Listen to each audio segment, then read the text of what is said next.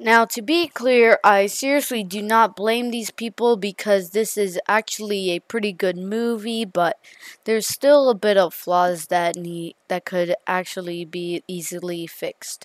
Number one, literally none of the main characters don't speak at all. And this guy getting beat up right here doesn't even have a reaction. Take a look.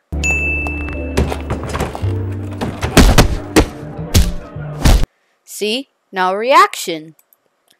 Number two is completely ridiculous how they do not get seen just walking straight through the kitchen. I am very certain that everything that's cooking here could catch on fire since it's been on for like hours now. Is it just me or is this guy right here having a seizure because he is shaking way too hard? Yet again, without any talking, as you can see, you cannot hear anything, but when I unmute the audio, See? No talking. The smoke from that cigarette is supposed to be going up, not down. Plus, if you get to this point, you can literally see that he doesn't even have a cigarette. Yet again, no talking. Take a look. For some reason, the money on his hand looks like it's just stick to him like glue and it's literally stuck to him.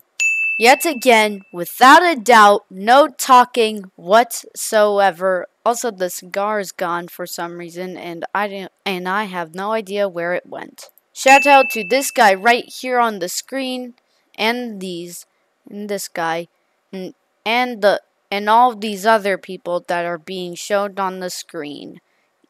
Wow, even he produced in it. Now, I'm not trying to say that this is a bad movie. I love the work that they did, and I would love to work with them on Rec Room Heister, but I think I could actually improve this a whole bunch. But now let's add up all the wrongings.